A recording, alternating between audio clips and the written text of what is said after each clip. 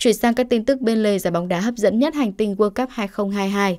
Ở trận đấu với Thụy Sĩ ở vòng 1-8 World Cup 2022 trên sân Lucerne, Cristiano Ronaldo đã bị loại khỏi đội hình xuất phát của Bồ Đào Nha.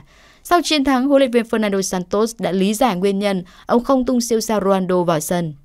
Ronaldo đã phải theo dõi phần lớn trận đấu từ băng ghế dự bị khi Bồ Đào Nha vượt qua Thụy Sĩ với tỷ số 6-1 ở vòng 16 đội World Cup vừa qua, sau các vấn đề về hành vi trong trận đấu trước đó với Hàn Quốc.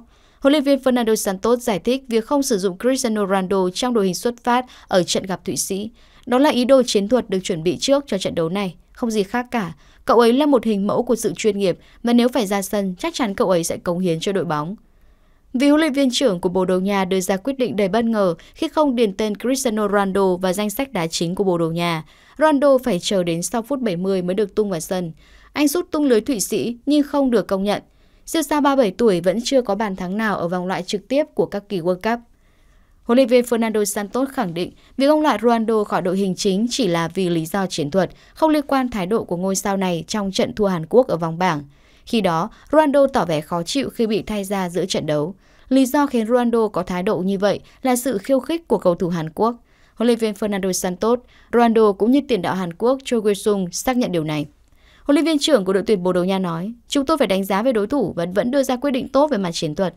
Và điều đó dẫn tới sự điều chỉnh này. Vấn đề đã được giải quyết và mọi người nên nhìn cách cậu ấy ăn mừng bàn thắng, cách cậu ấy vào sân với sự khát khao rất lớn. Tôi có một mối quan hệ rất tốt với cậu ấy, tôi từng huấn luyện cậu ấy Sporting, mối quan hệ này chưa từng thay đổi. Trên quan điểm của tôi, Cristiano vẫn là một cầu thủ quan trọng của đội tuyển Bồ Đào Nha.